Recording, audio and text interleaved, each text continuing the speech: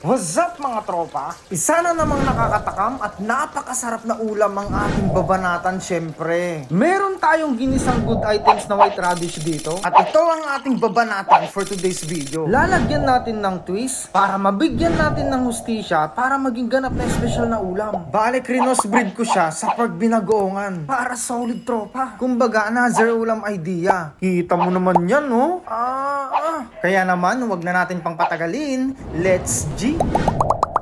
Isang mapagpalang araw sa ating lahat. Medyo may kamahalan ng labanos ngayon, tropa. Pero hindi mapipigilan ng mahal-mahal na yan ang cravings natin. Isa kasi to sa paborito kong ulam, tong ginisang labanos na to. Imagine yan tatlong piraso na yan, eh ang cute pa nung isa, mahigit isang daan na yan. balatan ng kailangan balatan at hugasan para sure na malinis bago tsuktsakin ng trip na design. Tapos ayan, ASMR muna tayo kasi satisfying ang nito, tropa.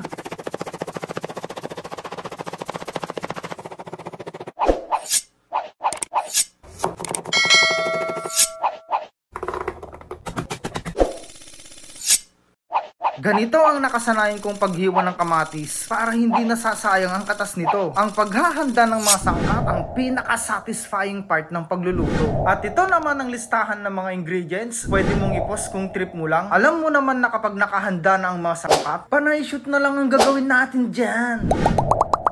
Oh, eto na B, makinig. Dalawang sandok ng vegetable oil, maggisa ng bawang hanggang sa medyo mag-brown ito. Tapos sunod ang sibuyas. At kapag lumabas na ang kaluluwa ng sibuyas, saka ko naman inilubog sa kahirapan ang pork kasim. Gisa-gisahin lang hanggang sa mag-iba ang kulay ng kasim. Then lahat ng kamatis inilagay ko na. Iwarkiwaran lang, tapos takpan hanggang sa lumambot ang kamatis. Yung napipisa na siya ng ganito. Hindi ko na dinurog lahat, tropa. Then nilagyan ko ng alamang. Bali unsalted na to to kasi hinugasan ko to ng bonggang-bongga at piniga ko pa tropa. So technically, pork binagoongan tong niluluto natin. Isang kutsaritang ground black pepper, dalawang kutsarang patis, dalawang kutsarang liquid seasoning, and then, sinut ko na ang bida sa video na to tropa. Halu-haluin lang ng bonggang-bongga hanggang sa perfectly blended na ang ginisa at labanos. Saka ko nilagyan ng isang kutsarang brown sugar, halu-haluin lang ng pabebe, then nilagyan ko ng kalahating tasa ng nawasa para magkaroon magkaroon ng sarsa kahit papaano tropa. Takpan hanggang sa maluto ang radish. Halu-haluin lang ng pabebe, then tikman ng sarsa kung maibibigay na ba niya ang hanap ng nararamdaman.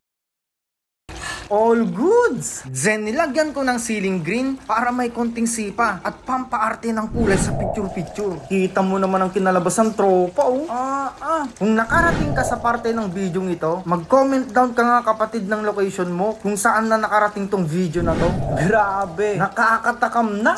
Pero mag-plating muna tayo.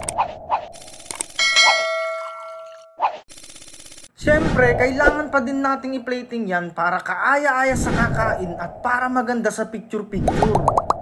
The moment of truth, first bite. Grabe, apakunay na po. Hmm, naghimasun mayang. Kastoy man timayat nga panaltakan. Katamtamang alat na may konting tamis at linamnam ng pork kasim dahil sa taglin nitong natural umami flavor at mga mabibisang aromatics. Tapos nilagyan natin ng alamang na siyang nagbigay ng twist sa ginisang white radish natin. So ang kinalabasan ay isang mabisang ulam tropa. Ay siya, gawi kong napapaibig. Maraming salamat nga pala sa mga viewers ko na nag-share ng mga gawa kong videos kahit walang kapalit. Paghuhusayan ko palalo para makapag-produce ng quality videos. Ako to si pula ang tropa nyo. Salamat! Hanggang sa muli! So, paano? Peace!